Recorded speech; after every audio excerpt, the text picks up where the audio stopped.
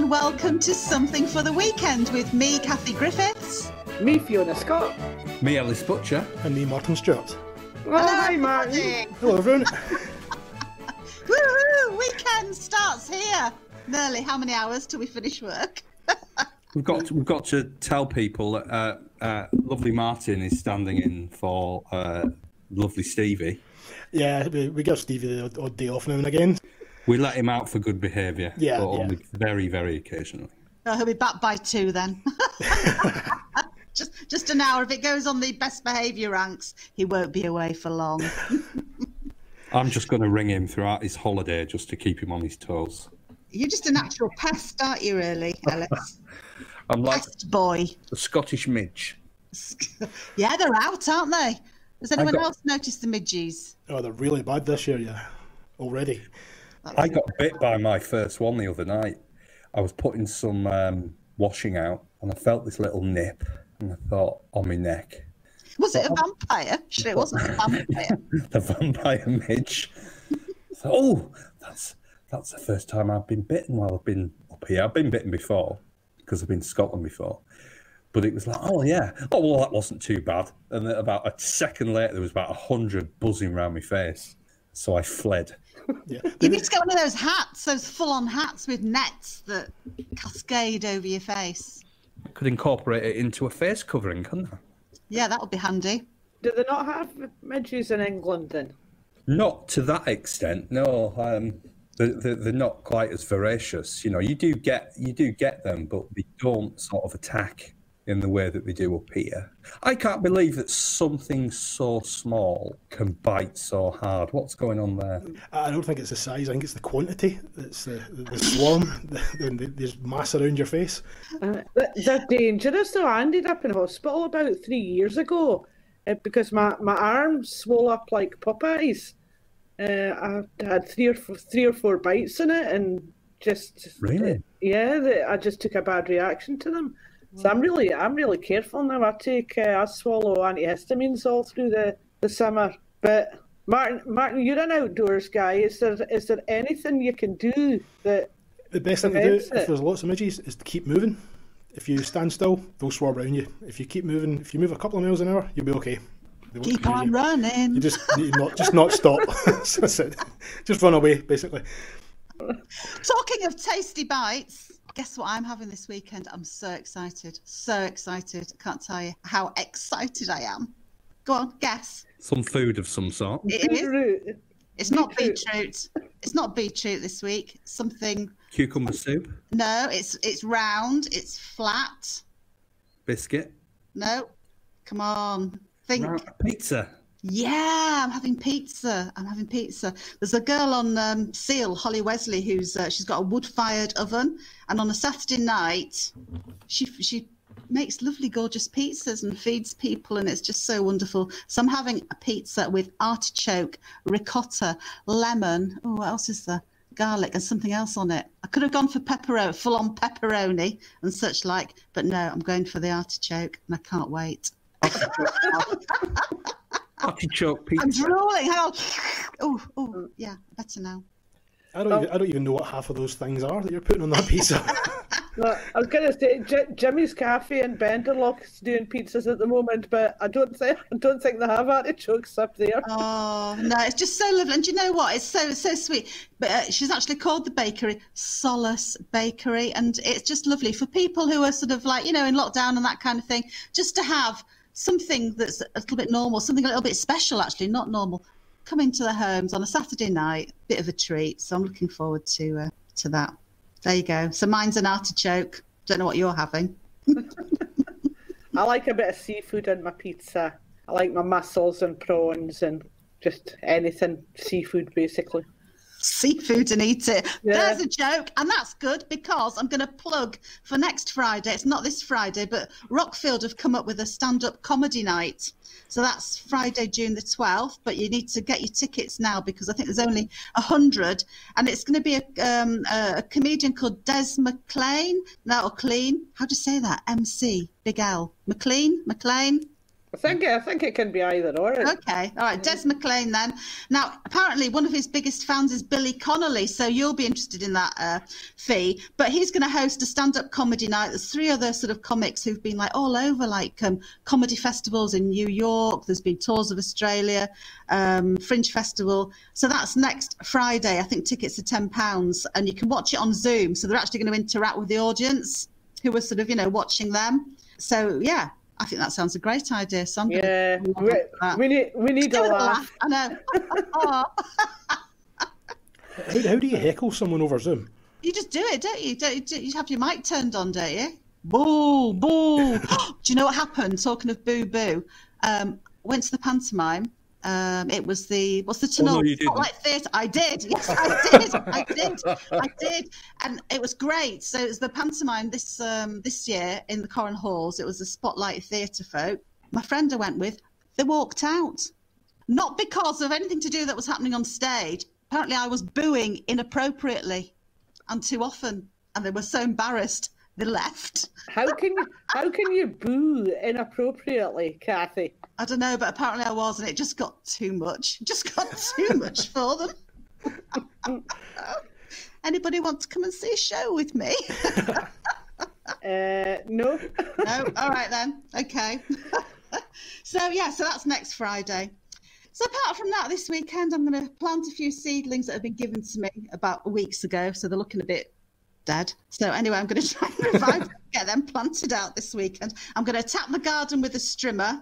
And then I'm going to play bingo with my family because the quizzes are all right, but they're starting to get a little bit. Mm, I thought you were. Hang on a minute. I thought you were What? streaming last weekend. I didn't get around to it, Ellis. Ah. Oh, you're So still on the ball. You, you I am- were trailing the fact that you were doing all this gardening last weekend. Well, I did do some of it, but it's a big garden. So I need to I need to sort of finish it finish it off. So I'm playing bingo. So 46. Clickety click. I was going to say who plays tricks. I'm trying to make them up. 81. Have lots of fun. Get up and run. 34. Knock at the door. Oh, I put out of the door. Anyway, there we go. Anyone got a house yet? I'm actually cringing just- here. Bi- Just Bingo. sign up for a flat if that counts. Bingo actually scares the life out of me. Why? I've had I've had bad experiences at bingo. It's so serious. How You- can you be serious about bingo? Oh, oh, Kathie, you want to go to some of these bingo halls? Honestly, you get shushed constantly. If I you, oh, boo. yeah, oh, you'd be banned. You would be thrown out on the street. Oh dear. So what else is who's got exciting things planned for the weekend? It can't be hard to beat what I've got organised. Well, I'm quizzing. Still, I still like my like my Friday night quizzes, and if anybody mentions bingo, I'll be off like a shot. but yeah, we're still having great fun doing that. And then I think I might go out for a walk on Saturday. You taking Malcolm? Ma- Malcolm doesn't do walking. Yeah, he's, he's exhausted. He's exhausted by all the uh, gardening that you've got him doing. He's painted the house. He's fixed Yeah. the roof. I shall take my dog. So if anybody's got I- any ideas uh, where we can go, that'd be helpful. Somewhere midgy midgy free. Well, Martin does quite a bit of uh, walking, don't you? But you, yours uh, walks with a different.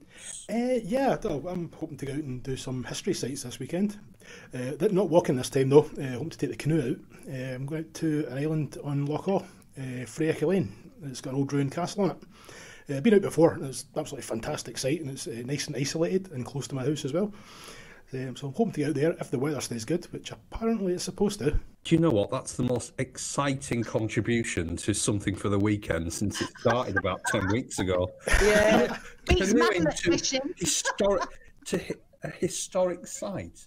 I mean, the, the I am nearest so impressed. the nearest we got to a kayak was Kathie getting stuck in one in her back garden. So, uh, Yeah, I won't be coming out with you, Martin. I bet- I'm not. I'm not risking that.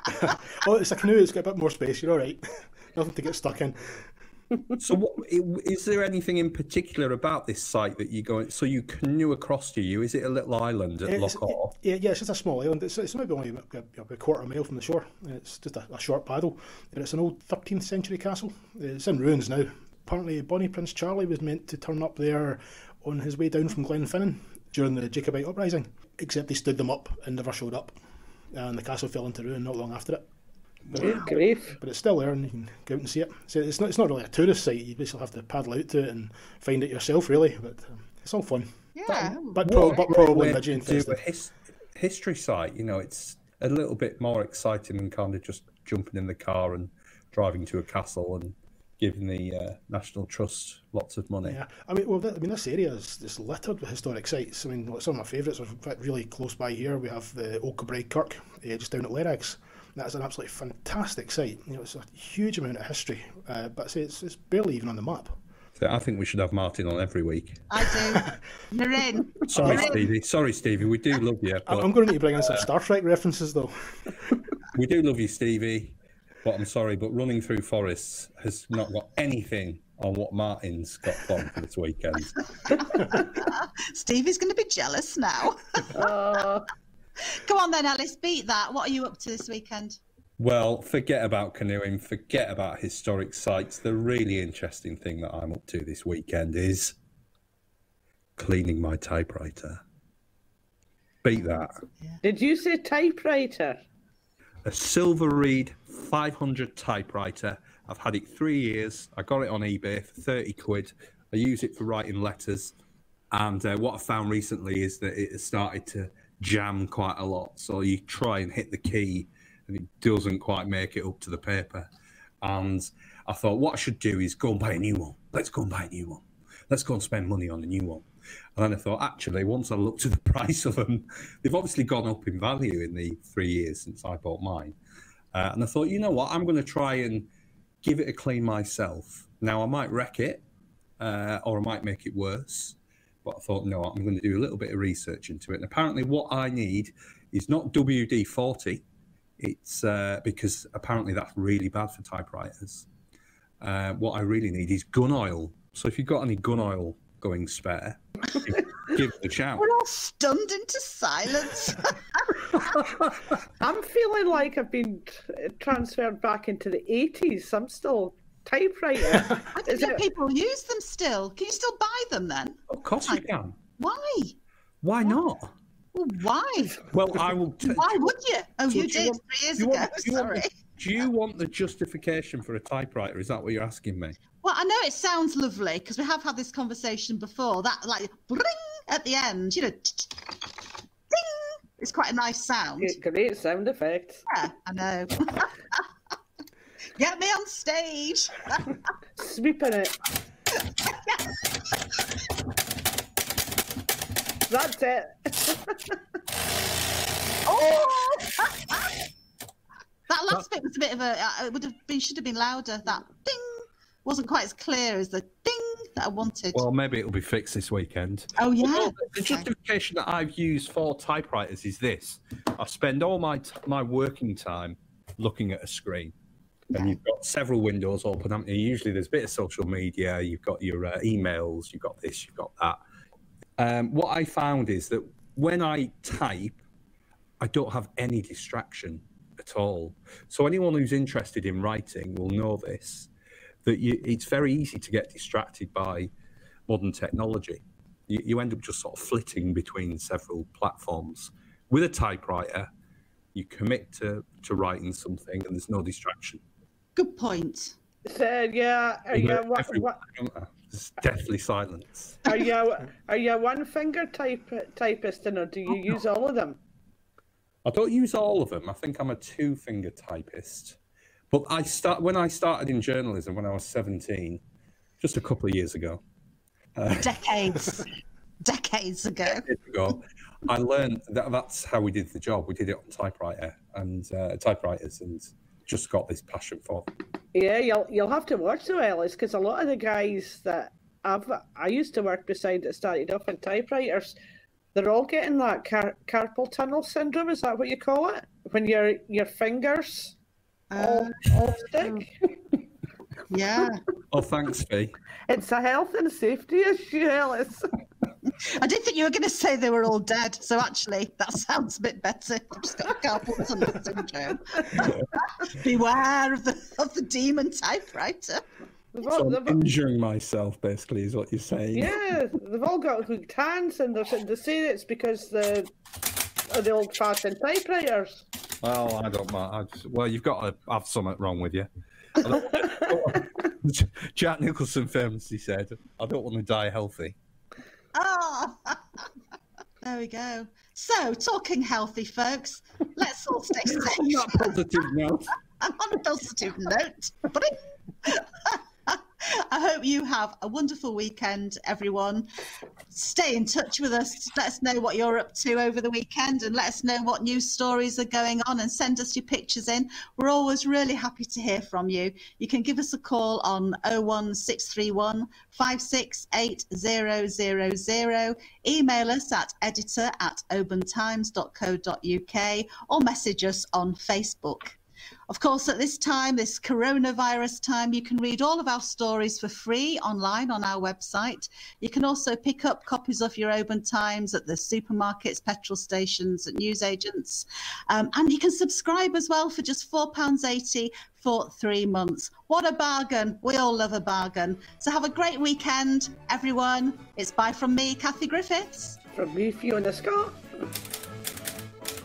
That was me set, typing by, albeit with a, an extra letter. It was four letters there. Four letters. Tara. Tara. Ta-ra, Tara. Ta-ra. love from Tara. Is, is Martin allowed to say goodbye? Uh, Yes, Yeah. yes, there's goodbye from me as well. Oh, happy kayaking. Thank you. See you next week, folks. Bye. Bye. Bye. Bye.